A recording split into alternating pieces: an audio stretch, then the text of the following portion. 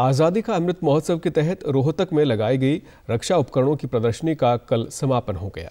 इस प्रदर्शनी में बुलेट प्रूफ जैकेट, भाला कवच, मिधानी कवच, बीआर, हेलमेट, हेलीकॉप्टर, आर्मरिंग सहित अन्य व्यक्तिगत एवं समूह सुरक्षा उपकरण प्रस्तुत किए गए। उपक्रम मिश्र धातु निगम लिमिटेड की ओर से महर्षि दयानंद विश्वविद्यालय में लगाई गई इस प्रदर्शनी को देखने के लिए पहुँचे दर्शकों के लिए ये एक अलग अनुभव रहा।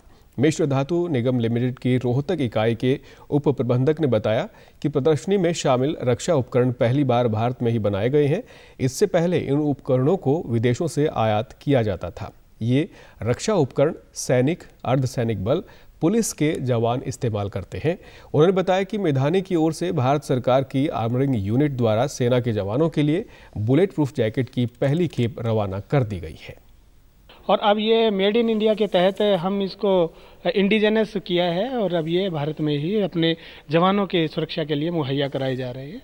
और मिधानी, इसमें भाभा कवच जो कि हमने बाबा एटॉमिक रिसर्च सेंटर से टीओटी करके ये उत्पाद तैयार किया है। ये अपने श्रेणी में एक बहुत ही उत्कृष्ट उत्पाद है।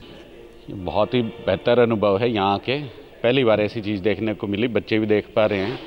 और पूरे हरियाणा के लिए गर्व की बात है कि डिफेंस सप्लाई की यूनिट हमारे हरियाणा में रोहतक में प्रोडक्शन में है।